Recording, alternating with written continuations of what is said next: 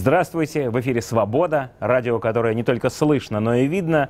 В студии Леонид Велихов, и это новый выпуск программы «Культ личности». Она не про тиранов, она про настоящие личности, их судьбы, поступки, их взгляды на жизнь.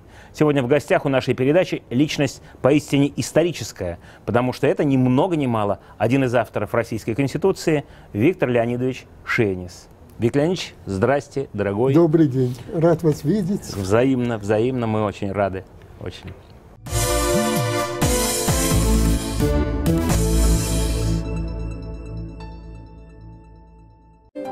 Виктор Леонидович Шейнис – человек интеллигентный и скромный.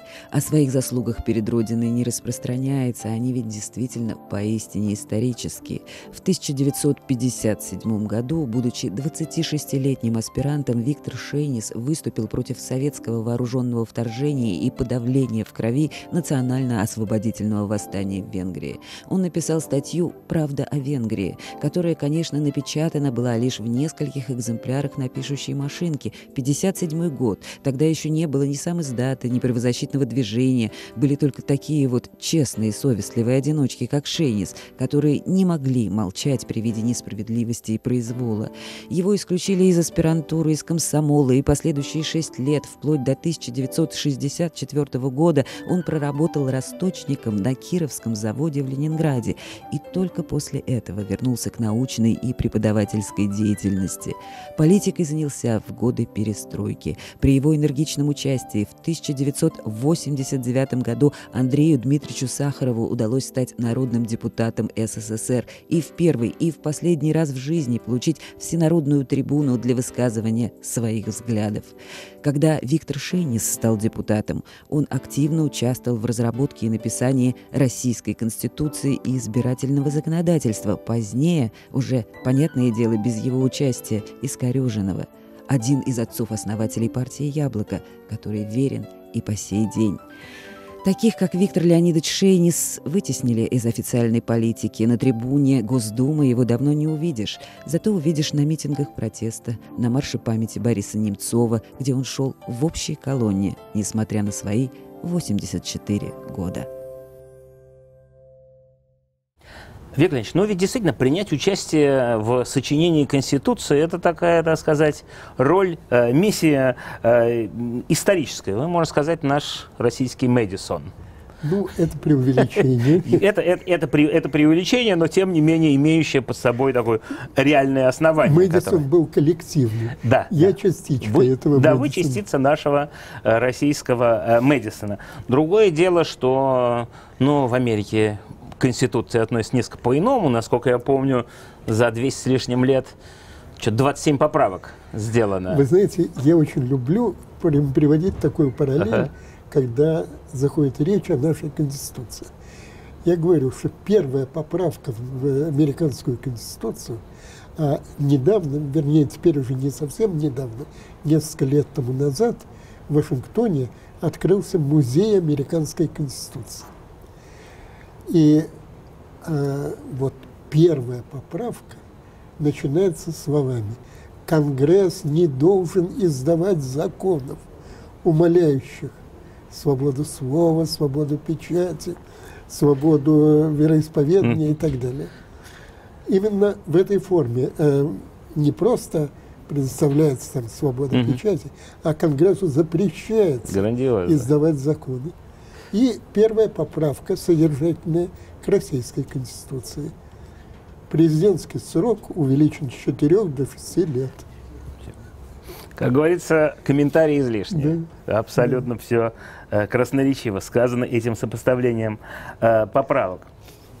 Ну, помимо этого, много чего в вашей жизни было э, замечательного, интересного. Жизнь действительно очень э, насыщенная, хотя вы человек такой интеллигентный, скромный, э, на показ себя не выставляете, но сегодня, когда мы будем говорить, мы коснемся нескольких, конечно, совершенно поразительных фактов эм, э, вашей биографии, на мой взгляд, э, поразительных. А начать бы я хотел э, с самого начала. Ведь вы родились в Киеве, на да. Украине. Это сейчас все совершенно, опять же, так сказать, резонирует, э, звучит э, по-особому. С Киевом что-то связано вот такое какое-то глубокое и важное для вас? Друзья, друзья, которых я там обрел, э, собственно, я уехал из Киева в эвакуацию Угу. 9 или 10, точно не помню, июля 41 года. Кажется, 10 Угу. После этого я в Киеве бывал только наездом. Ну, тоже таки И- уже большой мальчик уехали, 10 лет вам было почти, 10 да? лет, Да, Мгм. да, да. А друзья, которых я обрел уже потом, во время наездов, родственников там не осталось. Вот. Ну и город, конечно, прекрасный. Почему, почему не осталось? В силу каких-то нормальных причин? Не, Вы не- знаете, я уже, к сожалению, старый человек. Родственники были старше меня, Ага. они уходили. Ну, то есть э, страшная участь многих э, э, Да. киевлян, их, их миновало, я имею в виду 41 год и все прочее. Ну, во всяком случае, знакомых мне людей, Мгм. людей, которых я знал, э, да, по счастью, миновало. Мгм. Хотя у меня были все шансы оказаться в Бабьем Яру, поскольку отец моей мамы очень тяжело болел, долго тяжело болел, онкология. Мгм. И э, он умер 15 июня 41 года. Если бы он не ушел в мир иной, я не знаю, в теплушках, в которых мы уезжали, Ну да. можно ли было бы его увезти. Ну да, все бы, конечно, осложнилось. А мы помним эти э, страшную историю Баби Яра, сколько Да. там действительно было таких вот больных людей, которых везли, несли на носилках и все прочее. Многие семьи, конечно, наверняка были из-за этого не смогли э, вовремя уехать. А его похоронили. Я был в это время в пионерлагере. Мгм. Когда я приезжаю в Киев, мне иногда приходится идти в гости к моему другу, который живет, ну, сейчас это застроенная часть, тогда это была далекая окраина Киева. Мгм. Киев, конечно, тоже очень красивый Киев город, очень красивый город. хотя сердцем я прикипел к Ленинграду. Все-таки к Ленинграду, Да. даже не к Москве. Нет, конечно, к Ленинграду. Сейчас уже на несколько лет я больше живу в Москве, чем в Ленинграде. Ага. Но все-таки, наверное, лучшие годы моей жизни прошли там. Ну, лучшие годы нашей жизни, как известно, Да. это молодость, да? Все прошло там. А почему, собственно говоря, из эвакуации семья э, в Ленинград уехала, а не А, вернулась в Киев? потому что мы в эвакуации воссоединились с маминой сестрой. Мгм. Она из Ленинграда приехала на Урал, а мы на Урал приехали из Ташкента. Мы э, перемещались по стране. Мгм. Вот, и когда она уезжала, мы уехали вместе с ней и уже зацепились за Ленинград, что тоже было непросто по разным бюрократическим причинам. Мгм. Но, в общем, зацепились. И остались там. И должен сказать, что я Ленинград полюбил, ну, буквально с самого первого дня, когда я там оказался.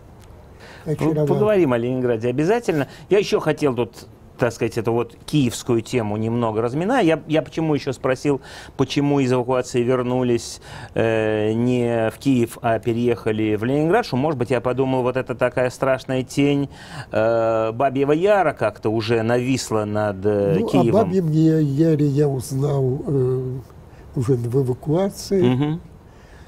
Потом я, конечно, узнавал и узнавал многое, но, по счастью, близкие мне люди Ну да. эвакуировались из Мгм. Киева. Но опять же, еще немного об этом. Вот, потому что эта тема тоже, вот я сказал, что, ну, естественно, Украина, Киев стала э, в силу известных э, причин такой э, м, э, важной темой, важной какой-то картиной, зрительной и все прочее. Поэтому каждый человек, связанный так или иначе с Украиной, это вот хочется немного эту тему э, э, нем- немного развить. И вот в наших средствах массовой, хотел сказать, пропаганды информации, очень много в последнее время муссировалась вот эта вот тема украинского э, антисемитизма. И в частности, она помогала как-то перетянуть вот э, русскоговорящее население Израиля именно в силу этих причин в большой своей массе оказалось поддерживающей и Россию в конфликте с Украиной, э, российскую э, политику в этом направлении. Вам как-то приходилось с этим сталкиваться? Насколько это такой, так сказать, миф Ну, вы э, знаете, во-первых, до эвакуации я вообще не знал, что я еврей, и не знал э, национальных различий. Э, Я был мальчишкой, ну, ходил в школу. Наверное, там были разные э, мальчики, девочки, и русские, и украинцы, евреи, еще кто-нибудь. Ну, вам, во всяком случае, вы никогда не чувствовали себя возрасте я этого жертвой каких-то нападок. Мгм. Потом, конечно, я не могу сказать, я читающий человек, я много читал об этом. Мгм. Но мне лично э, сталкиваться с этим не приходилось. И вот когда я приезжаю в Киев, когда я общаюсь с моими друзьями, они разные, они русские, украинцы, украинцы в основном. Мгм. Ну, естественно, этой проблемы между нами не существует. Ну, понятно. Ну, понятно. Ну, а теперь вот Ленинград. Э, Истфак Ленинградского университета. Мне знаете, что... Вы знаете, Да. простите, я Да. хотел, если можно, Ради бога. вставить еще вот что. Вставляйте. Я эвакуировался еще сравнительно благополучно, потому что Киев, как вы, наверное, помните, пал 21 сентября 1941 года. Мы уезжали в июле. Мгм. И хотя я помню, что в семье люди очень волновались, мои старшие, Мгм. мама, тетя, э, очень волновались, э, удастся, не удастся. Э, Где-то мы пристроились к одной организации. Но, в общем, уезжали мы сравнительно комфортно, э, в теплушках, но они были оборудованы. Нам дали запас э, продовольствия на дорогу, который мы еще доедали, когда приехали на место. Я до сих пор поражаюсь счастливой судьбе моей жены, которая в это время жила в Белостоке, в который немцы вошли как будто бы 23 июня. Да, примерно так и было. Ее отец был директором фабрики. Мгм. И э, он вечером 22 июня отправил судьбу, э, отправил жену свою, э, родственницу и девочку, мою жену, Мгм. отправил из Белостока.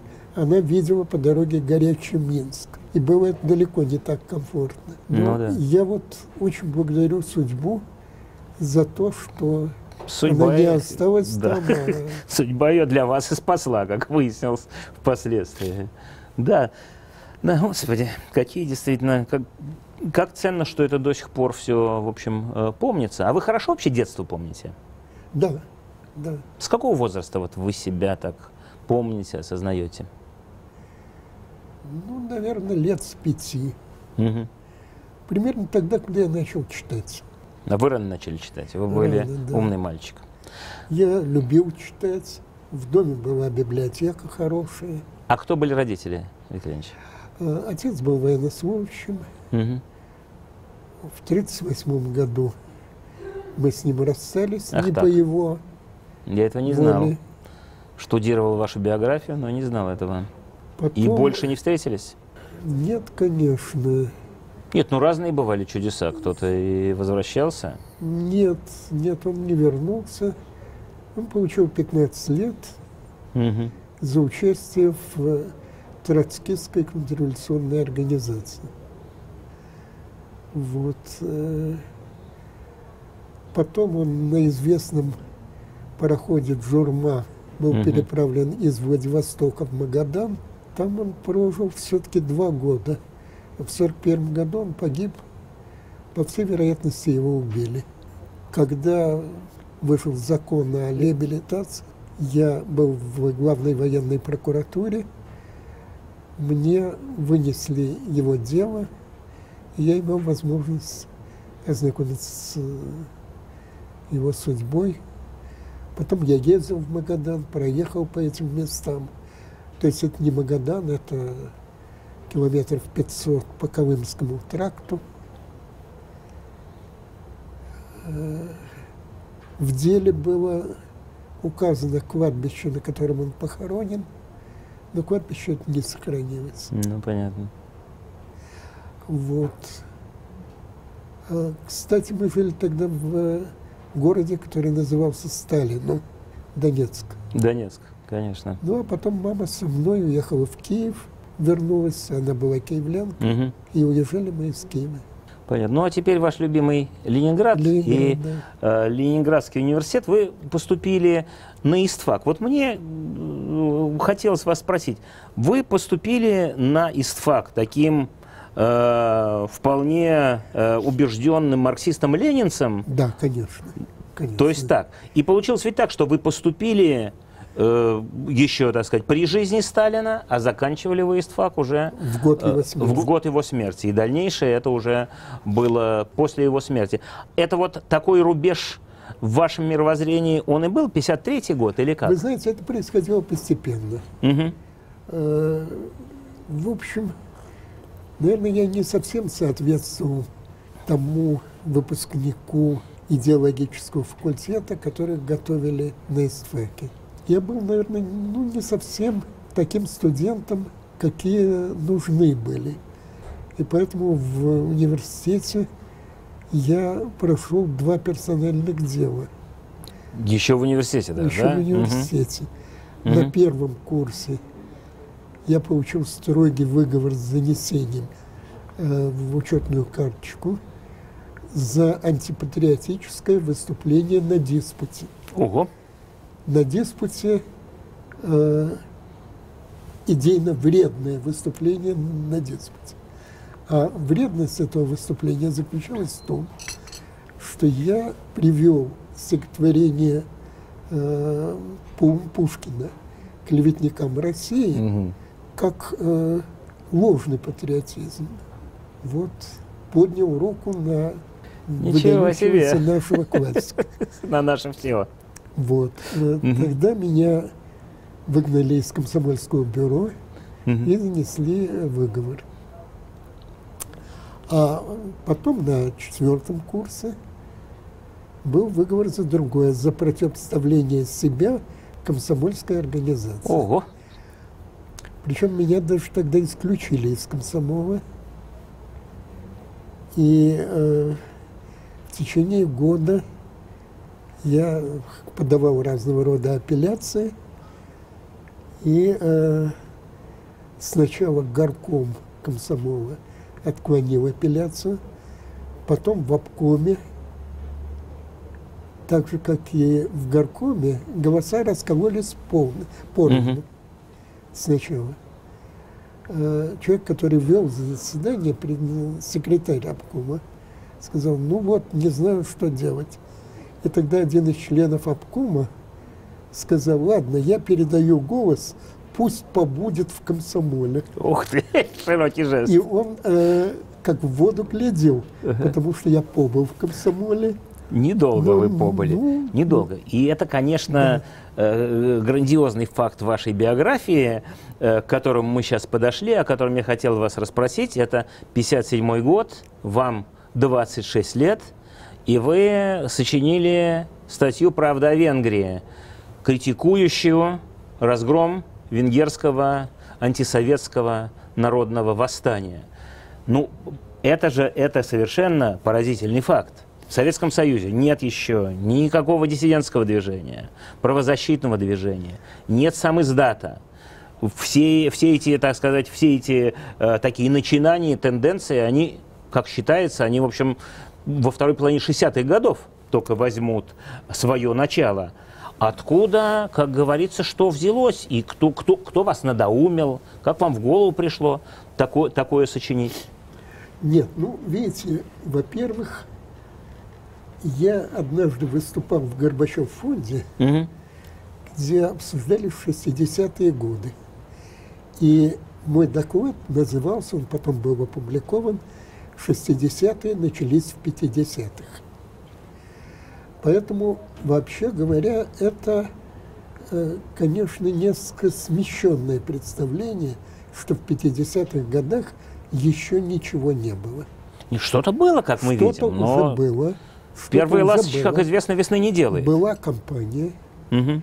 была группа моих друзей, которая занималась сначала изучением истории партии.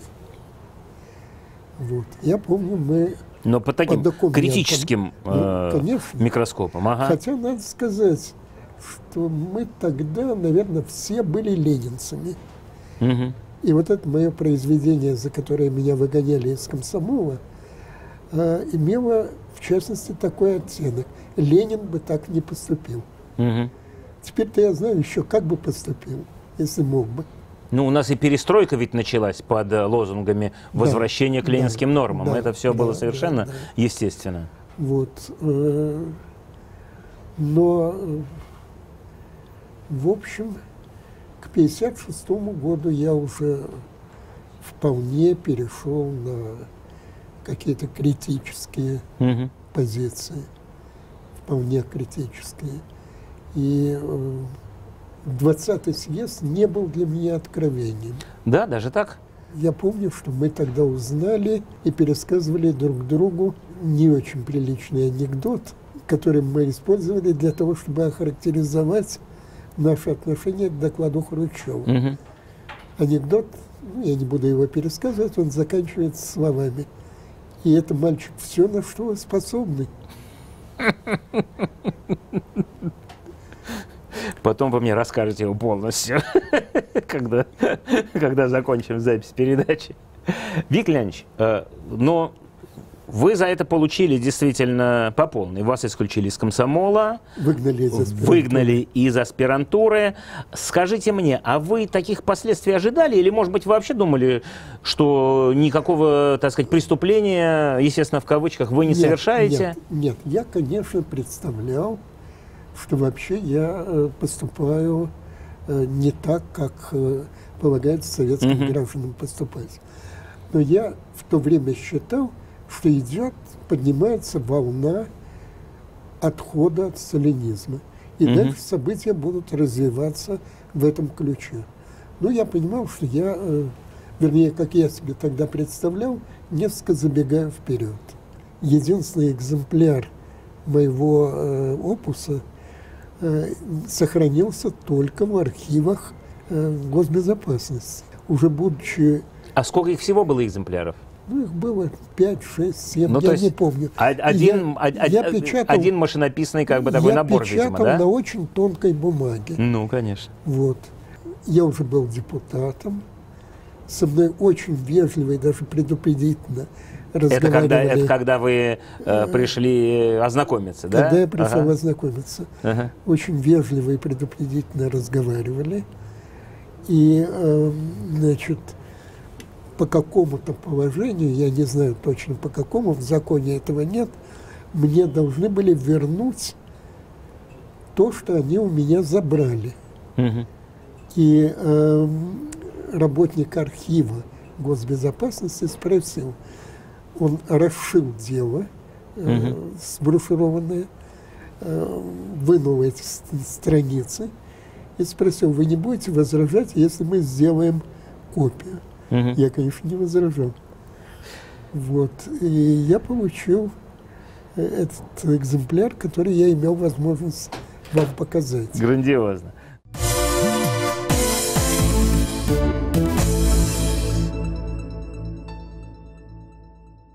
Виктор Леонидович, ну а теперь уже, так сказать, годы более близкие к современности, я вот что хочу сделать такое наблюдение. Вы с виду человек такой э, абсолютно классического такого интеллигентского облика, спокойный, рассудительный. Но э, меня поражает э, такой контраст, э, противоречие между формой и содержанием.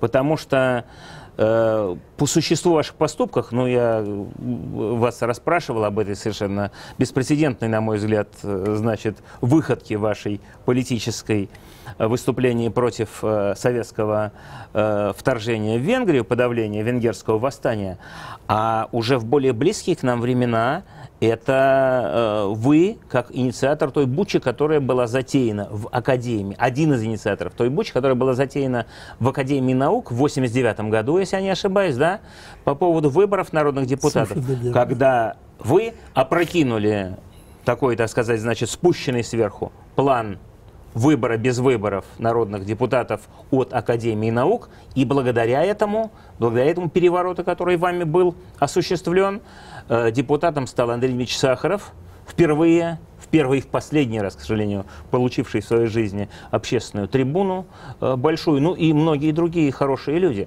Вот вы мне скажите, этот ваш такой гражданский активизм, совершенно беспрецедентный для, сталинских и после сталинских времен, беспрецедентный все равно для вот этого вот нач начала событий, которые э, привели к полной смене политической системы в России, Советском Союзе, Советском Союзе России.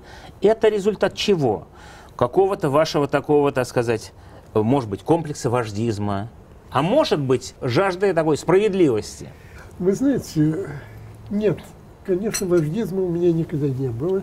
Ну, это так, я провокационно всегда, вас Я спрашиваю. понимаю, я стремился всегда работать в команде и всегда знал свою слабость э, в организационной части, mm-hmm. в организаторской работе. Когда произошли первые выборы э, на э, конференции, академии, не конференции, еще не выборы, выдвижение угу. на расширенном президиуме Академии наук. Понимаете, ведь не было тогда, не спускались точно вот такие-то кандидатуры, как в советские времена. Ну, вот да. выберите таких-то. Угу. Но расширенный президиум Академии наук был, преобладали консервативные люди. И Сахарова они забаллотировали. Забаллотировали других выдающихся людей. И это вызвало возмущение в институтах Академии наук. Люди из инициативной группы расклеивали, приходили в институты и расклеивали объявления. 2 э, февраля состоится митинг у здания президиума вот, угу, угу. по поводу выборов в Академии наук. Вот на этом митинге я присоединился – к инициативной группе. Я не был организатором митинга, угу.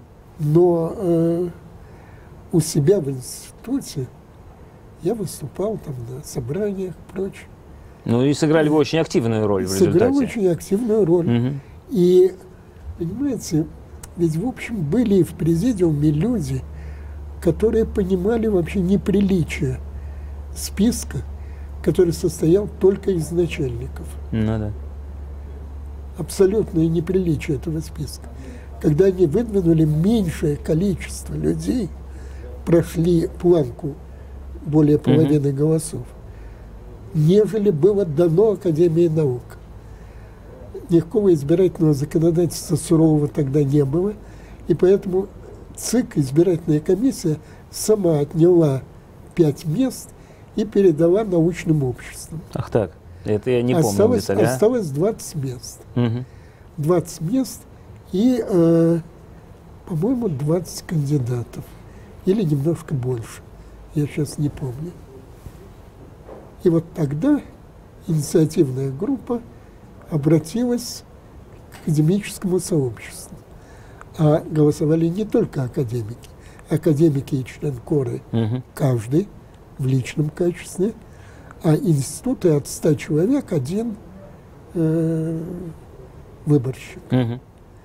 Ну, меня избрали в нашем институте, поскольку я там. Есть такая сложная система, почти, активен, почти американская. Да. Почти вот. американская. Скажите, уже переходя к вашему участию в политике, э, к тому периоду, когда вы стали активно участвовать в политике, стали народным депутатом э, и все такое прочее. Скажите, не считаете ли вы ошибкой, что не вы лично, но во всяком случае ставка демократами была сделана не на Горбачева, а на Ельцина? Вы знаете, я об этом и говорил, и писал даже. Конечно, не тогда, а много угу. позже. Я думаю, что если бы была сделана ставка на Горбачева, то, возможно, развитие событий приобрело бы иной ход. Более ну, правильный? Более правильный. Угу. Более правильный. Но, к сожалению, это было невозможно. Это было невозможно и потому, что народным героем был Ельцин, и наше избрание в народные депутаты в значительной степени было связано с тем, что мы заявляли себя сторонниками Ельцина. Ну да, Ельцин, конечно, шел как ледокол такой. Он шел как ледокол. Причем еще до нас, когда были выборы на союзный съезд, Мурашов, Аркадий Мурашов, известный человек, Конечно. выступавший на телевидении, зачитал письмо группы московских депутатов, которым они протестовали против гонений, которые обрушились на Ельцина в период избирательной кампании. Угу. И характерно, что все подписанты этого письма, все или, может быть, за одним-двумя исключениями, были в своих округах избраны. Угу. Значит, это, во-первых, общее народное настроение. Во-вторых, позиция самого Михаила Сергеевича. Михаил Сергеевич менялся. Михаил Сергеевич 96 -го года был уже другим, нежели Михаил Сергеевич 90-го года. Ну да. А тем более в начале нашего века. Угу.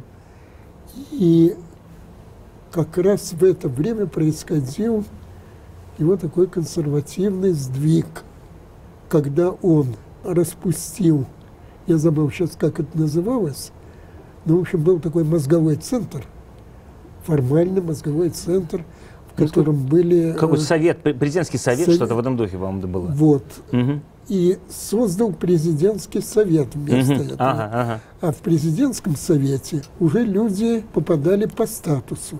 Там были министры, и э, руководители каких-то подразделений и так далее. Все это окружение его, которое это... потом его предало благополучно. Да. Угу. Кстати сказать, ведь когда он стал э, организатором Горбачев фонда, то с ним оказались как раз люди из межрегиональной группы. Да, да. Те, с которыми у него не сложились отношения. Угу. Вот, наверное, если бы Горбачев проявил бы больше интереса, он, его цель была консолидировать всех, объединить всех. Все за перестройку. Ну да. Ну вот давайте объединимся. Отсечем только самых крайних. А самые крайние были и с той, и с другой стороны. Поэтому это тоже было чрезвычайно трудно.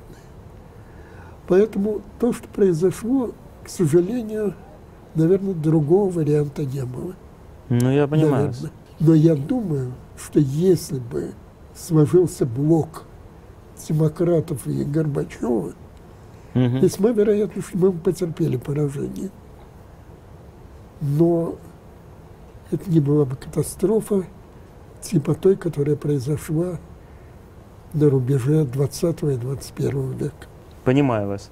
Об этом мы еще поговорим. Я еще хочу спросить вас об одном вашем, так сказать, шаге, уже конкретном голосовании. Не считаете ли вы его ошибкой? Это вы голосовали за ратификацию Беловежских соглашений. Как сегодня вы, вы смотрите вы на знаете, этот что? ваш э, вы шаг? Знаете, да, да, знаю. А, я, э, там было несколько пунктов голосований. Угу. В частности, э, был пункт о денонсации договора 22 года, я не голосовал. Я угу. то ли вообще не голосовал, то ли воздержался. Кажется, вообще не голосовал. Но по основному документу я голосовал за. Я не считаю это ошибкой. Хотя я тогда говорил и писал, что распад СССР для меня и личная, и политическая трагедия. Сейчас я так не думаю. Я думаю, что это должно было произойти. И хорошо, что это произошло в относительно спокойных формах, не кровавых, не так, как Югославия распадалась. Угу. Конечно, и не так джентльменски, как Словакия и Чехия, но все-таки относительно мирно. И вот когда я гляжу на нынешние наши азиатские республики, и когда я представляю, понимаете, Прибалтика все равно бы ушла. Это ну, это да, это был отрезанный ломоть, конечно. Это отрезанный, да. Украина, это, конечно, тяжело было, но, понимаете, когда я смотрю на азиатские республики и представляю, что в сегодняшнем государстве все эти байские режимы присутствовали бы, я думаю, что еще тяжелее было бы. Потому что это обременяло бы российскую демократию и, э, скажем, угу. э, ну, э, сейчас мне трудно представить что-то хуже, э, чем наши э, органы исполнительной, законодательной и судебной власти. Трудно представить что-то еще хуже.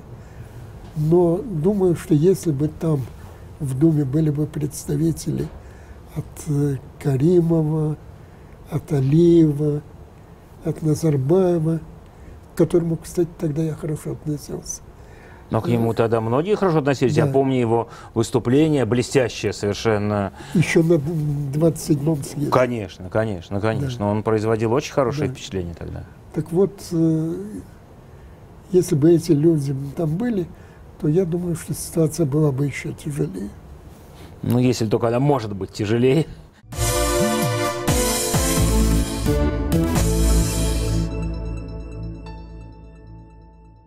И вот теперь давайте поговорим немного именно о, о современной ситуации.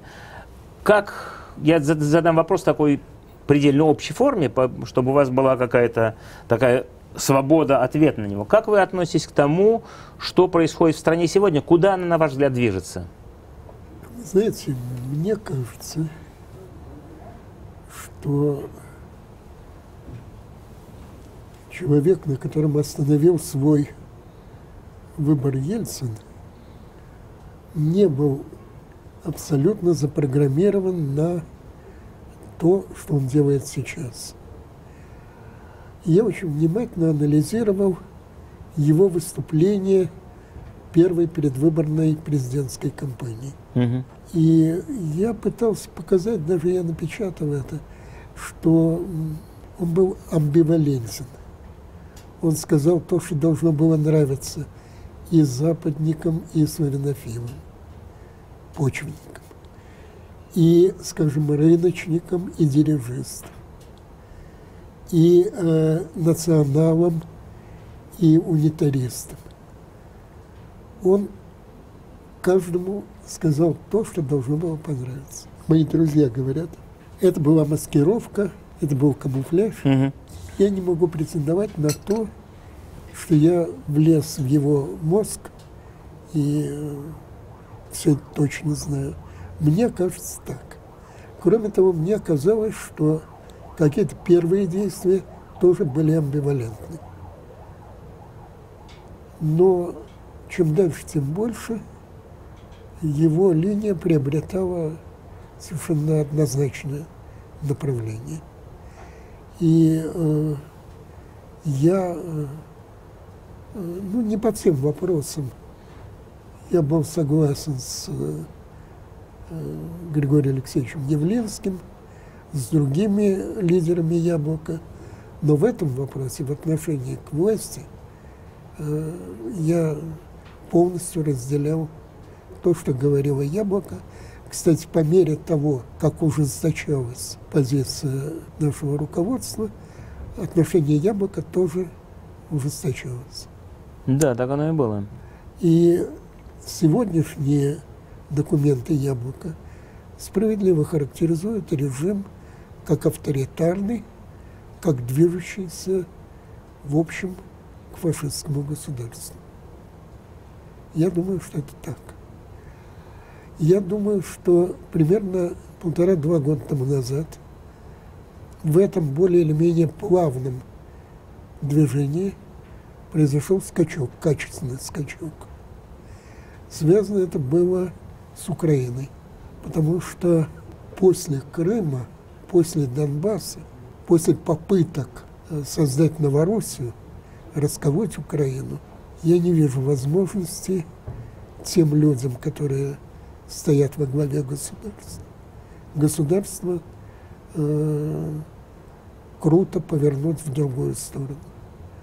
Боюсь, что они уже э, прошли точку невозврата. Это очень опасно. В нашем разговоре появилось э, упоминание партии, которой вы принадлежите, одним из таких крупных, э, ярких фигур, которой вы являетесь, это яблоко.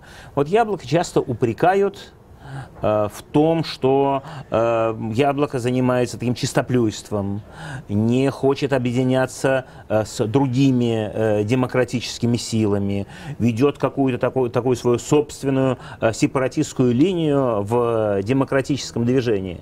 Вы склонны как-то, так сказать, в той или иной степени соглашаться с такого рода упреками? Вы э, очень хорошо поставили вопрос в той или иной степени. Угу. Да, в той или иной степени я э, склонен соглашаться с этим. Хотя я э, вижу э, последовательность и логику моих товарищей. Я уважаю их позицию. Я считаю, что в этом разъединении демократических сил – повинно не только яблоко, но и другая сторона. Вот. Но в особенности теперь, когда ситуация резко ухудшилась, я полагаю, что настало время, я об этом писал еще лет семь тому назад, угу. перевернуть страницу и начать с чистого листа. Да, действительно, Яблоко иначе смотрит на реформы 90-х э, годов. Яблоко иначе оценивает целый ряд других позиций демократов. Но сегодня самое главное – это остановить сползание к катастрофе. И поэтому я думаю, что разбираться, кто был прав и кто был неправ – в 93-м, в 96-м году, в начале 2000-х. Это потом можно разобраться. Ученые, наверное, получат документы, они в основном опубликованы, ну, да. проанализируют факты, но это не проблема сегодняшнего дня. Проблема сегодняшнего дня – остановить сползание к катастрофе. Понимаю вас, но тогда еще один задам вопрос. Вот вам, как такому демократу до мозга костей, человеку, который действительно никогда своим э, демократическим принципам и идеалам не изменил в угоду никакой конъюнктуре, в угоду никакой карьере. Вы в этом смысле действительно э, такой кристально чистый и последовательный человек. Это не примите это за комплимент, это простая констатация факта. А вообще э, России нужна демократия. Приживется ли когда-нибудь она в России? Ну, то есть вот такая примитивная постановка вопроса. Не получается ли по той самой знаменитой мысли Монтескье, перефразированной впоследствии, что каждый народ заслуживает той власти, того политического режима, которого он достоин, вот так вот, получает ту власть, которую он достоин? Я не могу сказать то это такого рода утверждения не имеет под собой никакой почвы. Имеют. Но, знаете, я воспитан на русской литературе. Для меня Россия – это прежде всего русские мыслители. Я плохо знал идеалистическую философию. Сейчас я немножко... Но для меня, вообще говоря, лицо России – это, если хотите, Пушкин, с которым, которого я обличал, обличал за клеветников России, считаю, что правильно критиковал. Я еще тогда не знал, что некоторые друзья Пушкина его критиковали да, да, да. за эти стихи. Тот же Вяземский и другие. Угу. Вот. Для меня Россия – это Белинский, Герцен, Чехов – советские писатели, советские русские писатели, Булгаков, Пастернак. Я считаю, что страна, которая рождала таких гениев, заслуживает лучшей участи. Согласен с вами. И э, мне бы хотелось, ну, сейчас уже много лет прошло, и не знаю, сумею ли я увидеть, но, э, в общем, я всегда старался какой-то камешек положить вот на эту чашу весов. У меня напоследок буквально два таких ли, лично уже к вам, не вообще, так сказать, о, о судьбах России, обращенных вопроса. Какой час, момент, период вашей жизни вы считаете таким звездным, что ли? Вот звездные минуты вашей жизни. Два. Два звездных часа. Если хронологически, то сначала это рубеж 60-х, 70-х годов, так. когда я э, кончил все-таки аспирантуру, защитил кандидатскую диссертацию и получил возможность общения со студентами в Ленинградском университете. Вот это было для меня очень важно.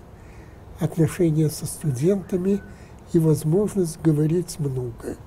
Я думаю, что не случайно Романов – тогдашний член Политбюро, помните?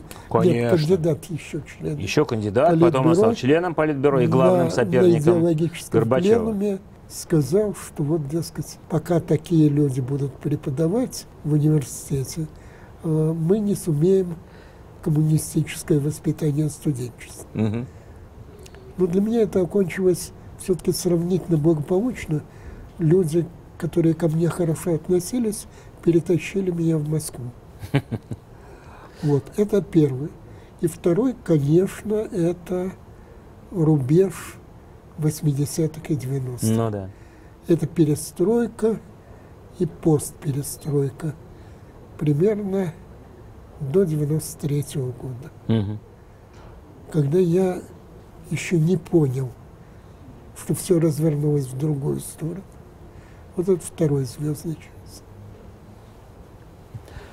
И последнее, что я хотел спросить. Вы счастливый человек? Вы знаете, мне однозначно трудно сказать. Я думаю, что судьба в целом была ко мне, э, в общем, благосклонна. Благосклонна. В целом. Э, один мой хороший товарищ в Ленинграде, ныне тоже покойный, э, когда разворачивалось дело о советской буржуазии, за которые меня выгоняли угу. в 70-х годах, говорил, что ну, не расстраивайся. Вообще все-таки события развиваются по среднему. Не по самому хорошему, не самому плохому.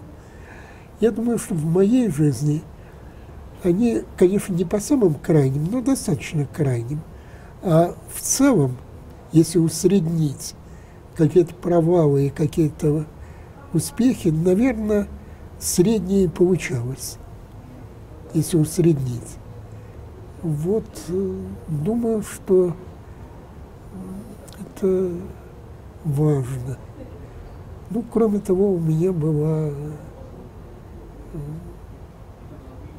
очень хорошая, была и есть личная жизнь. Я очень люблю свою жену. Замечательно. В общем, грех мне жаловаться на свою судьбу, но, в общем, неудовлетворенность собой у меня почти всегда присутствовала. Я вас понял. Я вас понял. Вы знаете, очень смешно. Недавно меня пригласили мои армянские друзья э, на встречу с делегацией из Нагорного Карабаха, Мгм. куда я имею честь и удовольствие Вы же очень активно в часто- свое время этим довольно занимались. часто ездить Мгм. в качестве наблюдателя на выборах и так далее. Происходило это в И агентстве... не имеете возможности ездить в Азербайджан в связи с этим, я уверен. Да, конечно, конечно.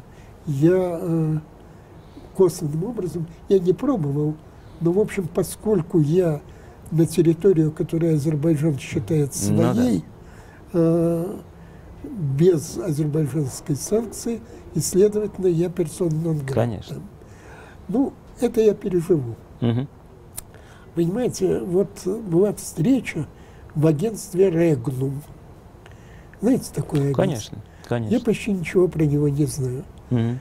Там, э, э, значит, э, лежали книги, разного рода книги. Наверное, если бы это было бы, ну, по крайней мере, лет пять или, во всяком случае, 10 лет тому назад, я бы ушел нагруженный книгами. Их можно было брать. Мгм. Меня дома завал книг. Я представляю. Я с трудом недавно как-то разобрал эти штабеля. Мгм. Я почти ничего не взял. Но в каком-то томе я прочел статью автора, толстый том, в котором, э, значит, автор рассказывал о том, как делалась российская конституция. И мне интересно было прочитать про себя. Значит, э, этот автор пишет, что вот Шейнис, он э, вообще похож внешне на меньшевика из советских фильмов. Вот. Он был активным демократическим деятелем. Но потом он ушел в яблоко и сошел со сцены, в частности потому, что он придумал избирательный закон, э, благожелательный по отношению к партиям, тогда как партии в России нет и не будет. Вот примерно так написал этот автор. Ну что ж, э, наверное, в чем-то он прав. Задело вас это? Да нет, нет, задело бы, если бы я был активным политиком. Сейчас все-таки я несколько в стороне, скорее позабавило. Я вас понял. Замечательно, Виктор Ильич. Спасибо вам за эту чрезвычайно такую искреннюю, живую и содержательную Спасибо беседу. вам за возможность вот об этом поговорить Спасибо.